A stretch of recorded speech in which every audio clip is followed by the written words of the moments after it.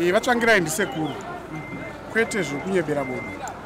Eh, macharamba tine tatine vana baba vanokwana kuita seven baba vedu vechinamba 2 kubva kudangwe Mm, vahosi wavo mukunda mbwera thembwera naana tsvangirai makazins mudzimai wavo wechitatu vanonzi mai guru maenifa mwamukunda wekwamupfigi vanhu vekwamupfigi nevekwatsvangirai makazins.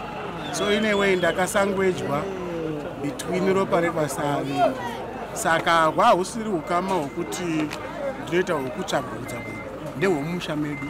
I think it's a great loss it's a great loss uh, to zimbabwe uh, not only in the sense of uh, his political role but also in the sense of uh, just, just at the humanistic level.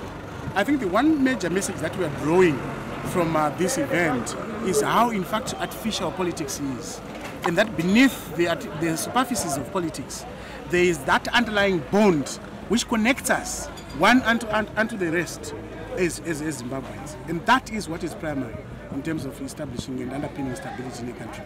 I've always argued, each time I write, and this is a point that I acknowledged even against my membership to ZANU PF, that uh, the one thing you will never take away from the MDC is that it nudged ZANU PF away from its uh, wartime centralized philosophy of running an organization in the country to one which recognizes that the primary right that uh, a society enjoys is an individual right.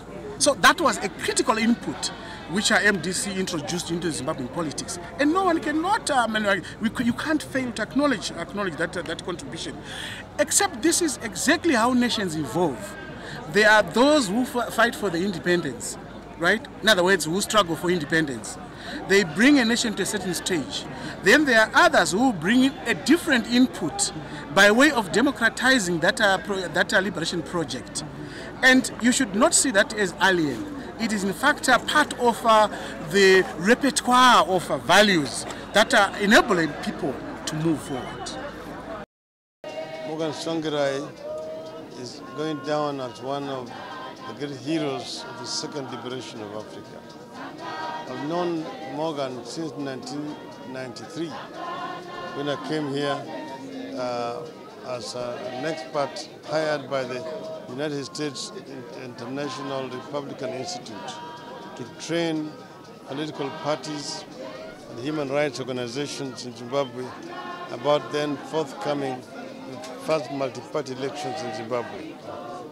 And from that time on, we have had uh, a very um, close relationship.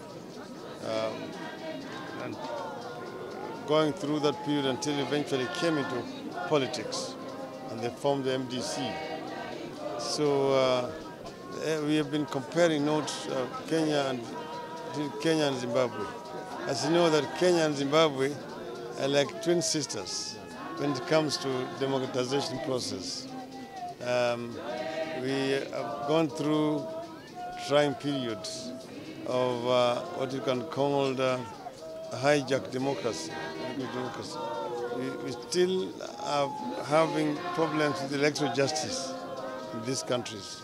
But what we are seeing after the early 90s, when uh, the, the military dictatorships and single party rule uh, came down after the Berlin Wall collapsed, we have seen an em- emergence of what we call electoral autocracy uh, or, or electoral um, dictatorship, where the ruling party, what's called the ancient regime, uh, want to cling to power irrespective of what the people have said. The elections are held almost as rituals, which the ruling party must win at all costs. First, it, it begins with the capture of the state machinery. They capture the electoral commission, they capture the judiciary, they capture parliament, and then they muzzle the media, press. So with that now armed, they will call elections, but the ruling party must win them. So there's massive rigging because the electoral commission is not independent. They will manipulate figures in favor of the ruling party. Then they will be told, go to the court. The courts themselves are not independent. The courts will basically rubber stamp what has come from the election commission. Then you are told that you have lost in, in, in, in, elections, you have lost in court, you are not a Democrat if you're complaining.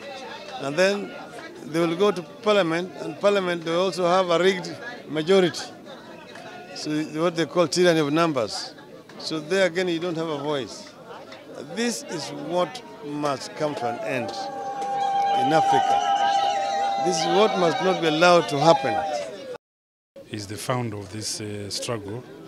Uh, he's the creator of this struggle. He was the first person to look the beast in the eye when no one dared to challenge uh, ZANU PF. So we've lost a mountain, we've lost a colossus, we've lost a hero, we've lost a father. And I don't know how we're going to move forward, but certainly we have to move to protect his legacy. Uh, he was a father to me, uh, with an excellent relationship. He was a father to me.